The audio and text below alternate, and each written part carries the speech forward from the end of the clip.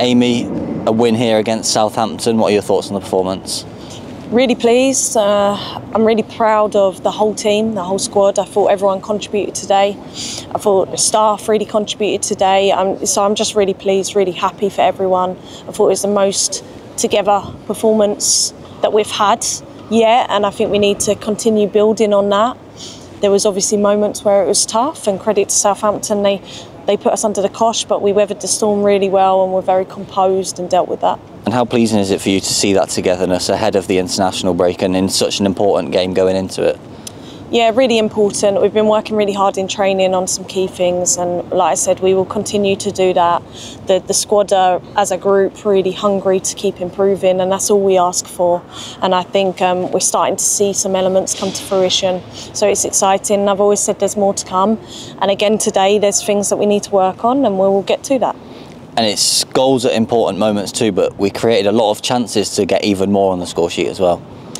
Yeah, definitely. And like I said, everyone everyone played their part in that. I think um, we're starting to play with a little bit more fluidity, um, and those connections, new integration of players, starting to click now. So, of course, we don't take anything for granted. I thought we earned the right this week in training, and we earned the right today in our performance. So we keep doing that. And then you mentioned there the, the forming of relationships. I just asked Tegan about it as well because she seemed to match up well with Reba. Simone seems to have slotted in now and is getting those patterns of play. Is it pleasing for you to see that work going into the tra- in on the training ground replicated in matches? Yeah, so good. And we need to continue to be flexible and fluid in those moments so it becomes more and more unpredictable for other teams. Um, and that's what I really enjoyed today. I thought players played in the moment. And I think that's what you need to do based on what picture you're given, solve it and exploit the space that's available quickly. So, really pleased, really proud of them all. And like I said, we made five changes today, and all five players really contributed to the result. And it's another clean sheet as well, our fifth of the league campaign. It's it's going well for Lucy Thomas, but again, like you say, the team, it's credit to them, isn't it, for the performance that they put in as an 11? Yeah, I thought Lucy was brilliant today in some real important moments to take the sting out of the game. So, again, like that's credit to the work that everyone's been doing.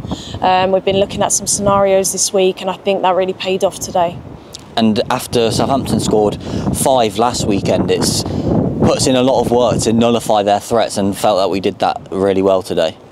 Yeah, like I said, credit to them. They did make it really challenging. I think this league is challenging. Every game is, and it's about adapting a strategy or what we want to do in certain moments. And like I said, the players really stepped up today and really owned that. And I thought, they performed excellently. So we should be proud, and we got to start relishing these moments and enjoying them. I'm really pleased for all of them. We had a good away following over in the corner. Just how pleasing and good is it to see so many travel away for us?